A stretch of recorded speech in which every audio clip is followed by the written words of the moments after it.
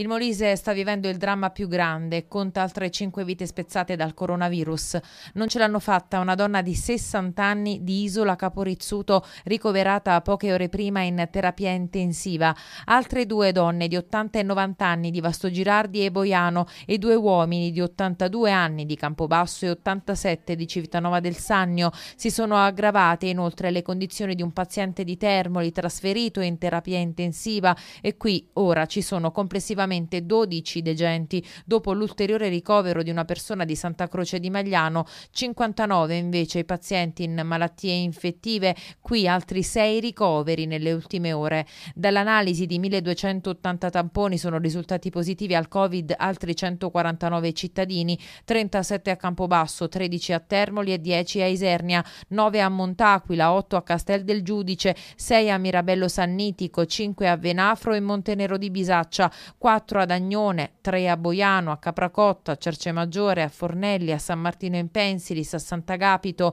2 a Guglionesi Larino, Macchia Godena, Montagano, Pozzilli, Riccia, San Giacomo degli Schiavoni, Santa Croce di Magliano e Sessano. Infine un caso in ognuno di questi comuni, Campo di Pietra, Campomarino, Colle d'Anchise, Forli del Sannio, Macchia di Sernia, Matrice, Montefalcone nel Sannio, Montenero Valcocchiara, Monteroduni, Palata, Pescolanciano, Pietra Catella, Sant'Angelo del Pesco, Sesto Campano e Vasto Girardi. Positiva anche una persona di Sant'Angelo Lodigiano che si trova in malattie infettive. Gli attualmente positivi in Molise sono 2.651, a livello nazionale 28.352 nuovi casi, con ancora un numero impressionante di vittime, 827, ma i guariti superano i contagiati, più di 35.000 in tutto il paese. Nelle ultime ore in Molise invece si sono negativizzati ospitalizzate 169 persone.